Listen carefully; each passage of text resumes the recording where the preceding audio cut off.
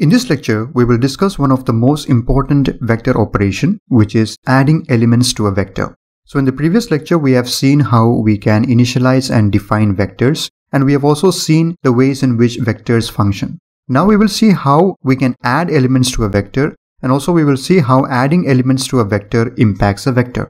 Now talking about adding elements to a vector, we have already seen some of the ways in which we were adding elements to vector in the previous lecture, like directly initializing the elements of a vector. So we saw that while defining the vector itself, we were directly initializing the elements of a vector. But this is a good approach only if we have a small number of known initial values. If we have just a small number of initial values that we want to initialize during the definition of the vector itself, then this is a good approach.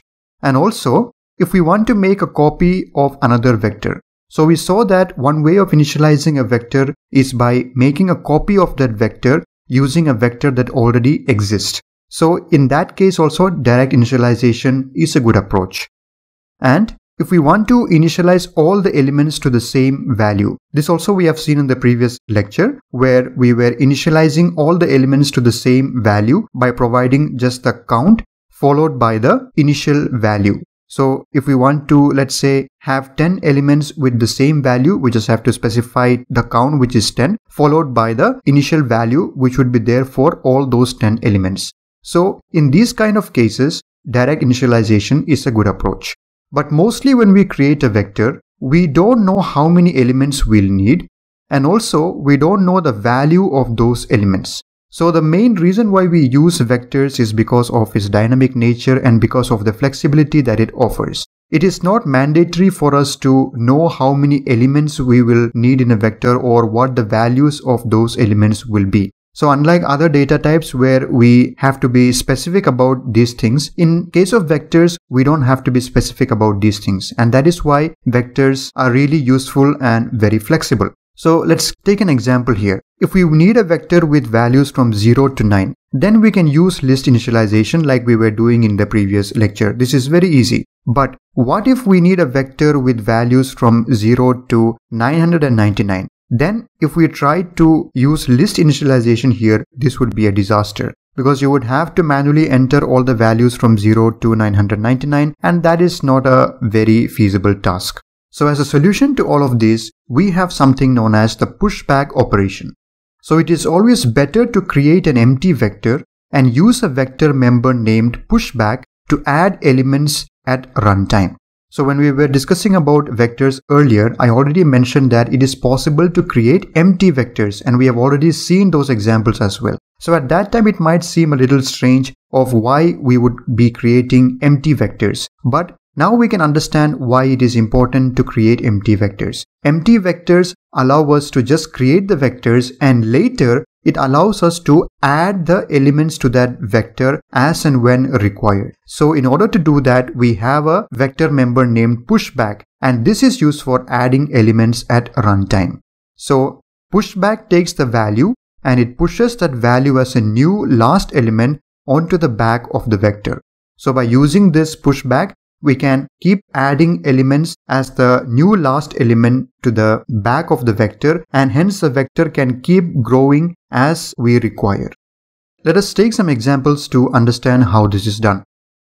So here I have a piece of code and here as you can see I am declaring a vector called myvec which is of the type integer and here I am running a for loop with the index i. It runs from 0 until 100 and then here we are incrementing i. And here we can see we are making use of our pushback here. So I say myvec.pushback of i. Now what does this mean? Let us take a closer look at the syntax. So here this is the syntax, the name of the vector which is this one myvec followed by the dot and then we have this pushback which has to be written push underscore back and then within parenthesis we specify the value that has to be pushed into this vector. So here basically what we are doing is we are running this loop and all the values that we get from these loop iterations that is the values of i that we are pushing into this vector myvec. So each of the values would be stored onto the back of the vector one by one. And here I am running another for loop. It's a range for statement actually. that runs over the vector called myvec with an index i which is an integer and I am trying to print this i and that would give me all the values that is stored in this vector called myvec. Okay, so let us run this code in Visual Studio Code and see if it is working as expected. So here in Visual Studio Code, I have the complete program that is written for that code snippet that we just saw. And here, let me run the program. So the name of the program is vector underscore push1.cpp. It is compiled successfully. So let us run it. Alright, so as you can see here, using this loop, we stored the values from 0 till 100 into this vector called myvec. And this statement here, it just printed out all the values of that vector. So we can see the values printed from 0 until 100. So we see that it is working as expected. Okay, now here we'll take one more example using a string vector. So as you can see here, I am defining a normal string which I name word. So remember this is not a vector but this is just a normal variable of the type string and it is called word. And here I am declaring a vector of the type string and I call it my text. And here using a while loop, we are trying to read the input from the user which would be stored in this string called word. And here using our pushback operation, I am trying to push that word which was entered by the user into this vector called my text.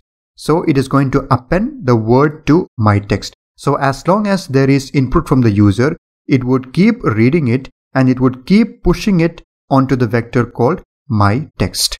And here I am again running a range for statement using an index i which is of the type string and it is going to run over the vector my text and it is going to just print out all the values that is there in my text. So let us again go to Visual Studio Code and run this program to see if it is working as expected.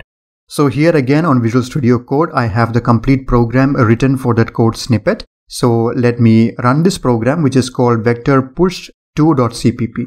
The program has compiled successfully. Let us run it. Alright, now the program is running and it is waiting for the input from the user here. So let me enter some words over here.